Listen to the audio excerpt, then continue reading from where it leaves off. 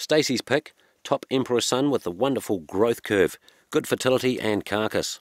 Top 1% for Angus Pure and self-replacing indexes, out of a first calving two-year-old heifer with a pedigree stacked with carcass. Semen retained for own use and Storth Oaks keeps a 50% semen interest.